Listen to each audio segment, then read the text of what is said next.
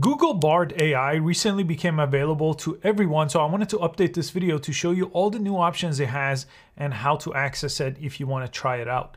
Now, Google Bard is an AI chatbot and it's the direct answer and competitor to Microsoft Bing AI and OpenAI's ChatGPT. I've had private access for about a month to Bard, but now in its wider release, it's really, really useful. I'm really impressed with it, and it's got some new options that just weren't available a month ago. So I'm gonna update this video and show you exactly how to use Bard. To access Bard, you could go to this website, bard.google.com, and you could sign in. Now it's gonna ask you to sign in with your Google account, which you probably already have one if you have YouTube or Gmail. I already have one, so I'm gonna go ahead and sign into my Google account to use Bard. Now, similar to other AI chatbots, you're going to get a prompt box here. A prompt is where you could ask it a question and give it a prompt. It also has this microphone access, so it's gonna start listening to you and typing in a prompt that way. I'll stop it here. And right on the left side, you also have light mode if you wanna turn it to light mode. Mine is set to dark mode. I'll show you a couple other options as I show you how to use this. Now, as far as your prompt, you could just ask it any type of questions. There's a ton of different questions that this could answer. I'm just gonna ask it, what's the difference between Bard and Bing and ChatGPT? I'm gonna press enter, and it actually responds very, very quickly. So as you see, I just got a response just like that in one click. Now, another unique thing with Bard that I like right here, it says view other draft. It actually creates three different drafts and they're actually way different. You see the format that it gave me for this one? Look at this one. This is in a different format with bullet points and this one is yet in a different format with a table. So this one is way more useful. So I could actually check out the comparison here between ChatGPT, Bing, and Bard. So it's saying that creativity with ChatGPT is high, Bard medium, Bing low. So that's useful.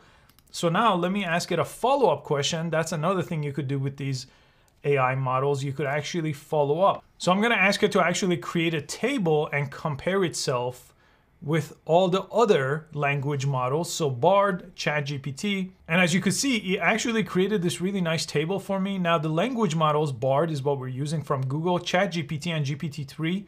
These also, actually GPT-4, powers Bing as well. So all the GPT models that roll out, that's what Bing access it. So those are the same. And there's some other language models that you haven't heard of before just yet, but they're going to be rolling out as well. Now here's three interesting things you won't find elsewhere. One is you could actually press Google it, right? This is only available with this kind of a language model because it's from Google and it could actually do a related search on Google. So I could click that and it will open up a Google web page here.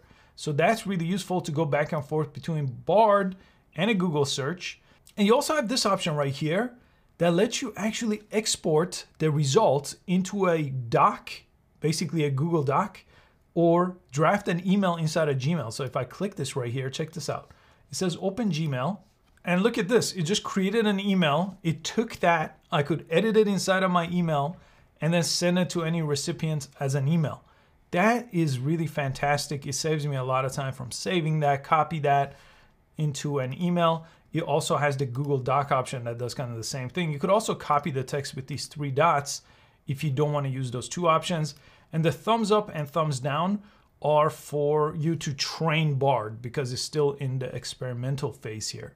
And if you go over here to Bard activity, I recommend you go over here and if you want to change any of these settings, you can. So you could actually turn off Bard activity so it doesn't remember your previous prompts because by default, all your previous prompts will show up over here and you could basically erase any of them with the X on this page. Let me go back here. And if you want to start again, you just press reset chat. It's going to reset the chat you're not going to be able to go to it from the left side like you could with ChatGPT, but you could go to Bard activity and they're listed where I just showed you and you could bring them back, or you could just start with a fresh prompt right over here. Now, Google is also working on changing Google search. So in a demo they recently showed, instead of showing you search results, different websites, Bard is gonna show up as the answer on top and you could prompt it and interact with it right on top of Google. So that single-handedly is going to change the internet forever. And because of all these changes in the world of tech with AI, I'm putting together an entire Netflix style video platform to teach you all about AI to make you more productive at work and more productive in your personal life too. And it's a huge library. It's gonna have tutorials, it's gonna have entire courses, downloadable resources, a social platform. And my goal is to make sure you don't fall behind in this fast paced world of AI and stay up to date with the latest tools, especially useful and easy to follow tutorials to actually learn them and implement them in all aspects of your life. So I'll go ahead and put a link in the description below this video. You could sign up for the waitlist. It's almost ready, but I will email you as soon as it is. Thanks so much for watching this video and I will see you on the next one.